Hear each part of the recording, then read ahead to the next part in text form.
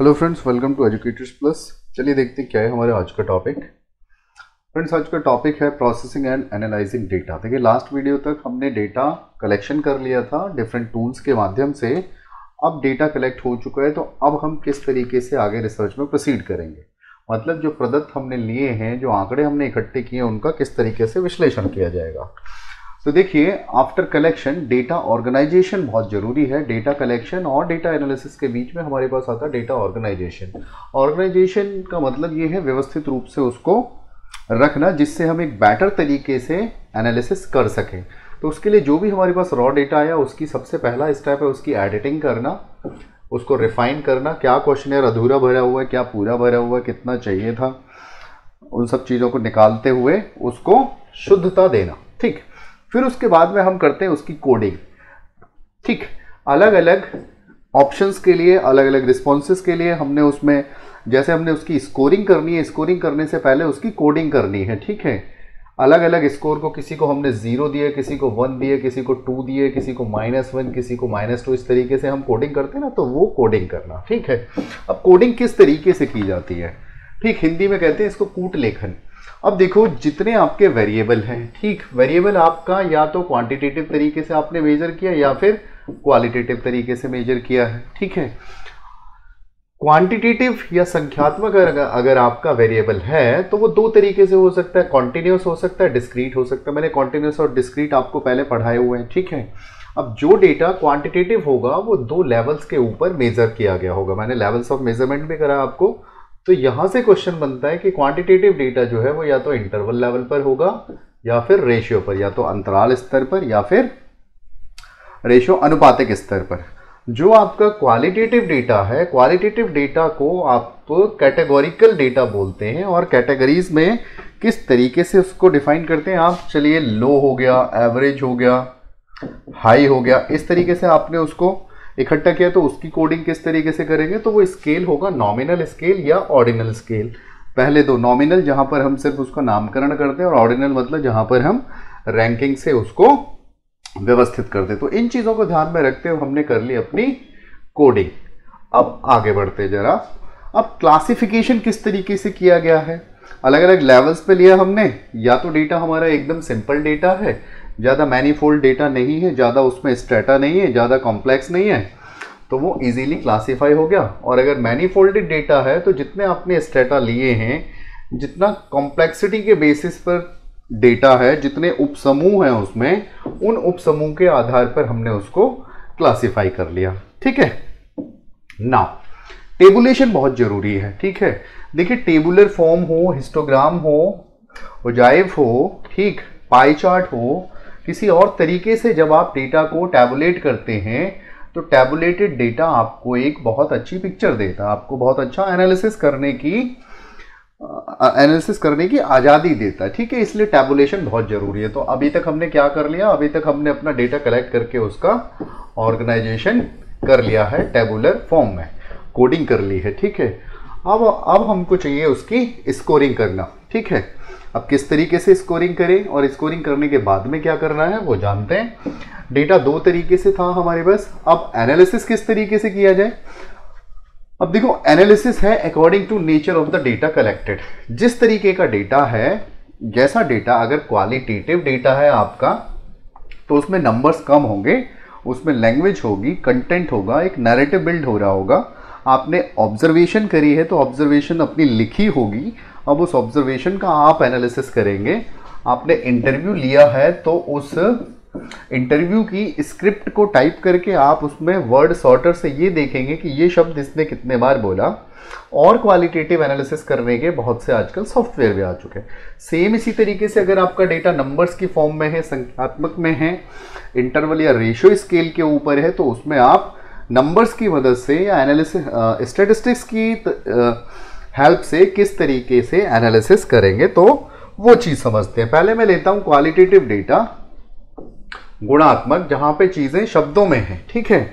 सबसे पहले तो आपको आइडेंटिफाई करनी मेन थीम मेन थीम आपने आइडेंटिफाई कर ली मतलब मुख्य विषयों को स्पष्ट करना कि भाई बेसिकली जो नैरेटिव हम लेके चले थे, जो वेरिएबल हम लेकर के चले थे, उसकी मेन थीम किस तरीके से आगे बढ़ेगी। Now assign codes to the main theme. अब ये जो मेन थीम है और जो इसकी सब थीम्स हैं, उनके लिए आप कोडिंग करते हैं। जैसे मैंने बोला ना, आप सपोज़ करिए आप वुमेन एम्पावरमेंट पे बात कर रहे हैं, लेकिन किसी का इंटरव्यू लेते हुए सपोज़ कोई एक वर्ड है और वो वर्ड बार बार बार बार बार बार रिपीट हो रहा है, ठीक है? डोमेस्टिक वायलेंस की तरफ़ वो वर्ड इंडिकेट कर रहा है। तो यहाँ पर आपको ये करना है कि इस तरीके के वर्ड कौन कौन से हैं, क्या वो वर्ड मिलके एक मेन थीम के अंदर सब थीम में आ रहे हैं, उनको ध्यान में रखना कंटेंट एनालिसिस करते हुए। ना नेक्स्ट है हमारे पास classifying responses under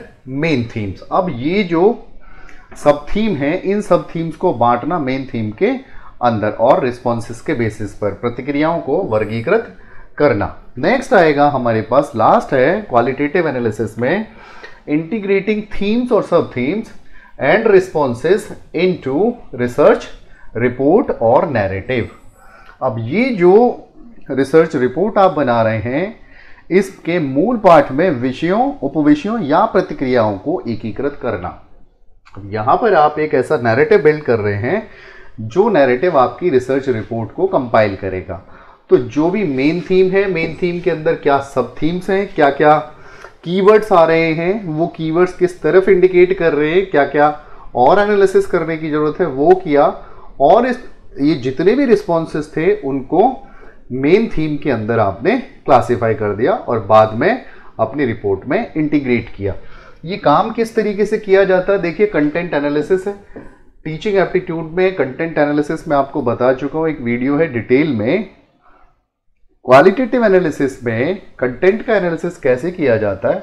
सबसे पहले रिसर्चर चीज़ों को समझने के लिए अपनी प्रीवियस नॉलेज का यूज़ करता है, पूर्व ज्ञान का प्रयोग करता है, जो कि उसे लिटरेचर रिव्यू से मिला या अपनी नॉलेज के बेसिस पर, अपनी सहज वृत्ति से मिला।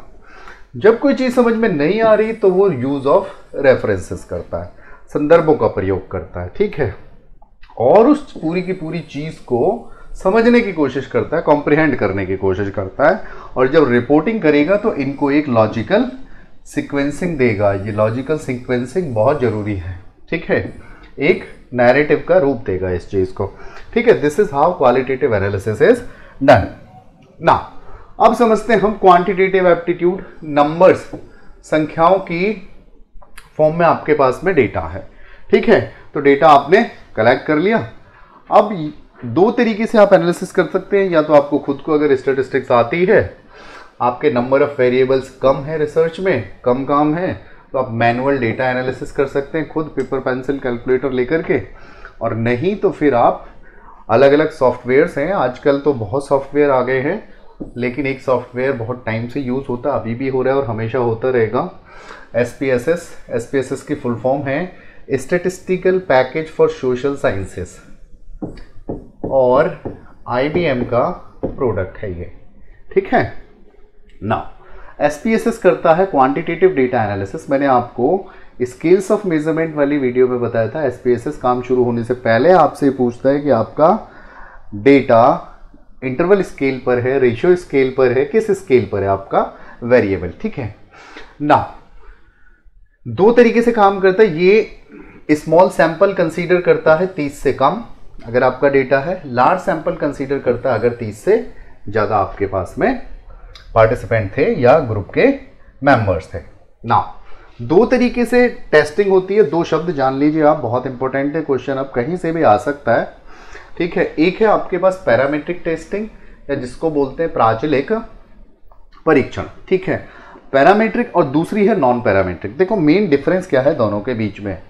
रट्टा मारने की ज़रूरत नहीं है। पैरामीट्रिक और नॉन पैरामेट्रिक प्राचलिक, अप्राचलिक के बीच में डिफरेंस ये है कि पैरामीट्रिक में जो पॉपुलेशन है आपकी, उस पॉपुलेशन की जो स्टेटिस्टिक जो पैरामीटर्स हैं, जो एट्रीब्यूट्स हैं या जो क्वालिटीज़ हैं, वो आपको नोन होती हैं। जैसे अगर मैं कहूँ कि पॉपुलेशन का मीन आपको आइडिया है पॉपुलेशन का एसडी के बारे में आपको आइडिया है स्टैंडर्ड एविएशन या क्वालिटीज़ के बारे में, जनसंख्या समष्टि के बारे में उप उपकल्पना करते हुए आपको कुछ ज्ञान होता है पॉपुलेशन के बारे में, ठीक है? सैम्पलिंग में समझा चुका हूँ कि पॉपुलेशन क्या है और उसमें से सैंपल लिया हमने।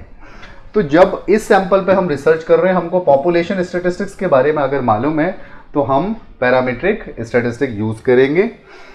एजुकेशन और सोशल साइंसेज और साइकोलॉजी के बच्चों, दो तरीके के टेस्ट पैरामीट्रिक में हम यूज़ करते हैं। आपका टी टेस्ट और analysis of variance analysis of variance one way और टू वे ठीक? वन वे हम मेन इफ़ेक्ट जानने के लिए और अगर हमें कभी तीन वेरिएबल हैं इंटरेक्शन इफ़ेक्ट जानना है तो हम टू वे एनोवा भी यूज़ कर लेते हैं। ठीक है जी? अब नॉन पैरामीट्रिक टेस्टिंग क्या है? पिछली वाली में क्या था कि पॉपुलेशन के बारे में जो एजम्पन्स हैं, वो पता होंगी। लेकिन नॉन पैरामीट्रिक में अगर पॉपुलेशन के बारे में एजम्पन्स नहीं मालूम है अबाउट द पॉपुलेशन तो इस तरीके की टेस्टिंग जब हम करते हैं तो उसको नॉन पैरामीट्रिक बोलते हैं। आपके पास टेस्ट है काई वर्ग परीक्षण chi square median test sign test Mann Whitney U test Wilcoxon pair signed rank test ठीक है? विल्कॉक्सन का युग्म चिन्ह श्रेणी परीक्षण। ठीक है दोस्तों? अब ये अलग अलग टेस्ट के नाम हैं, ठीक है? जिन बच्चों के मेन पेपर में ये थ्योरी है, उन्होंने ये चीज़ें पढ़ी भी होंगी, लेकिन अगर आप लिटरेचर से हैं किसी और सब्जेक्ट से हैं जिसमें स्टेटिस्टिक्स नहीं है तो घबराने की ज़रूरत नहीं है। इन नामों को समझ लीजिए, इन चीज़ों को समझ लीजिए कि पैरामीट्रिक टेस्टिंग क्या होती है नॉन पैरामीट्रिक टेस्टिंग क्या होती है। ठीक है दोस्तों तो ये था एक छोटा सा वीडियो रिगार्डिंग डेटा एनालिसिस किस तरीके से किया जाता है। मिलता हूँ नेक्स्ट वीडियो में। Thank you so much